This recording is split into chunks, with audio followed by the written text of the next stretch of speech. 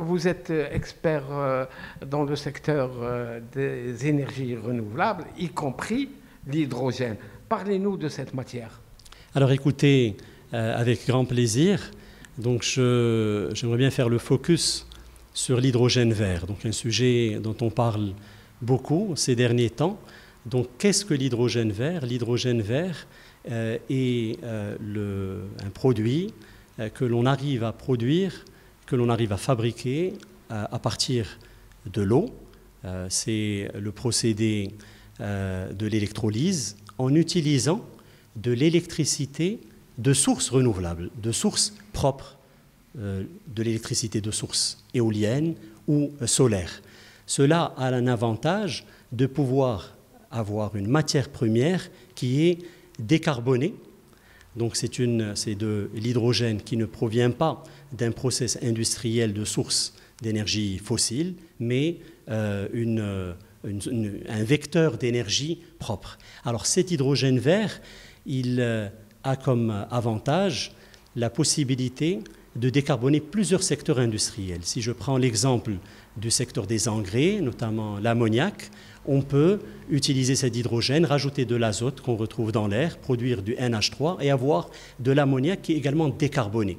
Cet hydrogène, on peut récupérer aussi du CO2 de différentes industries polluantes, avoir un cercle vertueux, intégrer le carbone dans euh, l'hydrogène et avoir justement des combustibles synthétiques qui vont nous permettre également de décarboner plusieurs secteurs qui sont difficilement électrifiables. Les transports, le transport maritime, euh, l'aviation, euh, etc., le transport de marchandises. Donc voilà un peu cet avantage de cet hydrogène décarboné. Alors pourquoi le Maroc a un grand potentiel? Il a été identifié parmi les six pays qui ont le plus grand potentiel de produire de l'hydrogène vert au niveau international. Eh bien, parce que nous avons d'abord des sites euh, au, niveau de notre pays qui combinent un grand potentiel d'énergie éolienne et un grand potentiel d'énergie solaire. C'est l'avantage et la particularité de notre pays au niveau continental. Nous pouvons presque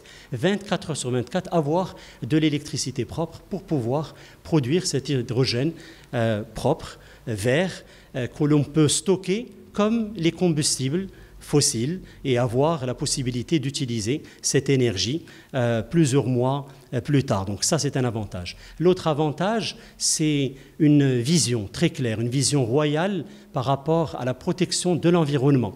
Euh, ensuite, nous avons également aussi une expertise et une expérience dans le développement de grands projets euh, propres, euh, de grandes centrales éoliennes et solaires. Et donc tout cela sont des atouts pour notre pays et bien sûr la proximité avec un grand consommateur, aussi l'Europe souhaite décarboner son économie et donc nous avons la possibilité d'exporter cette matière première. La grande particularité, avant de parler d'électricité verte, la grande particularité de l'hydrogène vert, c'est de pouvoir l'exporter plus facilement. Et ça, c'est intéressant parce que nous allons pouvoir décarboner notre économie, mais aussi contribuer à décarboner les économies de pays partenaires. Il y a un, un amalgame chez le téléspectateur, celui de dire que euh, l'hydrogène est une électricité, est-ce que son prix va être compétitif à la fabrication de l'électricité à partir d'autres sources, notamment l'énergie fossile? Oui, alors il faut un tout petit peu différencier. Euh, nous avons euh, au Maroc un mix énergétique pour produire l'électricité. Mais nous avons aussi une consommation énergétique qui dépasse seulement la part euh, électrique. Donc dans notre mix, dans notre consommation au niveau national, il y a à peu près 20% qui est euh, orienté pour la production de l'électricité. Il y a les autres secteurs, il y a le secteur des transports, il y a le secteur de l'industrie, il y a le secteur justement également de la chaleur, de la cuisson. Tout cela consomme également de l'énergie. Et l'objectif est de pouvoir décarboner ces secteurs qui sont difficilement électrifiables. Donc pas seulement décarboner euh, le secteur de l'électricité à travers l'utilisation des énergies renouvelables, mais utiliser cette électricité propre, augmenter la part de l'électricité propre pour produire de l'hydrogène qui va servir à décarboner les différents secteurs industriels, notamment le transport, la mobilité, dont la mobilité, euh, le secteur, les secteurs industriels, etc. Donc c'est un tout petit peu la, la différence. L'autre point qui est important à souligner, souvent on parle du besoin en eau qui est important, et eh bien là encore, cela peut être une opportunité pour notre pays. Pourquoi? La part pour euh, le dessalement d'eau de mer, qui sert justement au procédé d'électrolyse pour produire de l'hydrogène, ne représente qu'un pour cent du coût.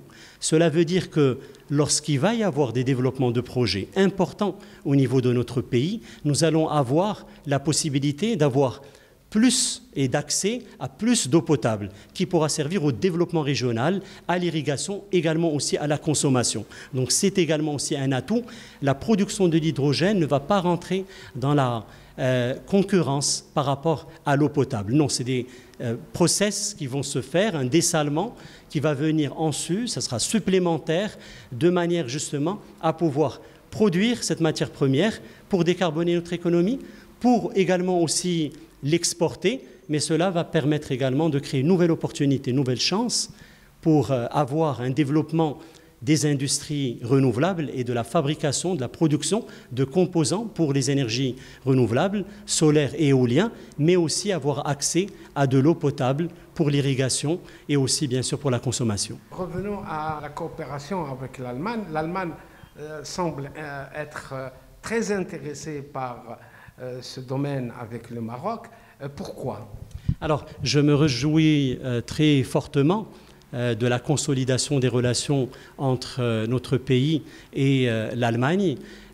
Entre nos deux pays, nous avons une coopération énergétique depuis plus de dix ans une coopération fructueuse. Nous partageons également aussi les mêmes valeurs climatiques pour la protection de l'environnement.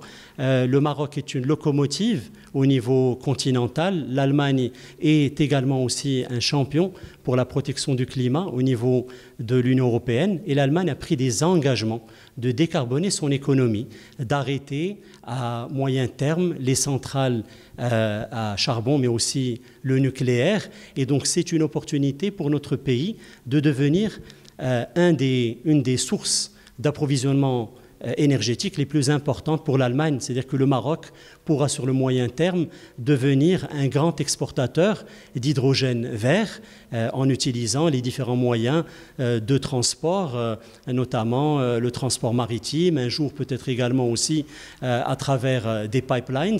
Et de l'autre côté, l'Allemagne qui souhaite justement décarboner son économie et qui est une puissance, la première puissance économique euh, européenne. Donc il y a clairement une complémentarité.